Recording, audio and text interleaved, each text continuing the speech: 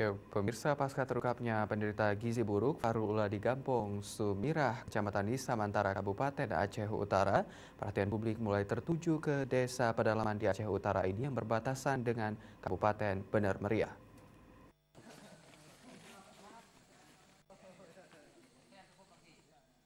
Bocah gizi buruk Fahrul Ula anak Tihawa bisa jadi jalan pembuka bagi daerah terisolir di pedalaman Nisam antara Aceh Utara ini, di mana semenjak terangkatnya kisah derita bocah berusia 2 tahun yang hidup di bawah garis kemiskinan tersebut, sejumlah pihak mulai berdatangan ke daerah yang terletak di perbatasan dengan benar meriah itu. Kesempatan ini digunakan Getik Gampung Sumirah untuk angkat bicara seputar persoalan di kampung mereka yang minim infrastruktur, kesehatan, dan sumber daya manusia yang memadai. Selama ini kita juga mendata, mendata sejumlah mana, uh, sejauh mana perkembangan uh, kehidupan ekonomi masyarakat dan juga kehidupan sosialnya.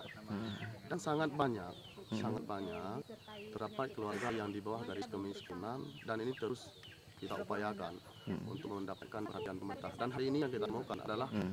hanya segelintir kasus. Hmm. Sebenarnya masih sangat banyak yang perlu kita uh, apa namanya kita uh, boleh langsung turun ke lapangan untuk melihat kondisinya. Oke, harapan Pak Kecil untuk untuk pemerintah apa ya?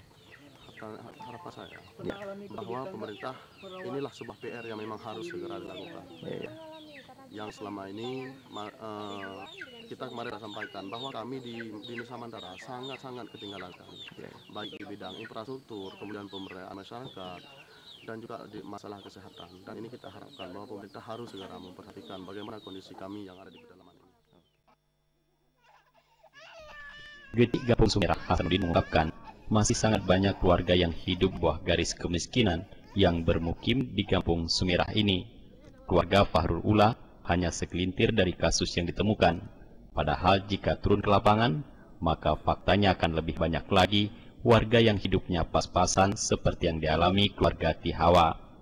Dirinya berharap agar pemerintah mau memperhatikan Kampung Semirah yang terletak jauh di pedalaman, yang tertinggal jauh dari pedesaan lainnya dari segi infrastruktur maupun pemberdayaan masyarakat, apalagi kesehatan.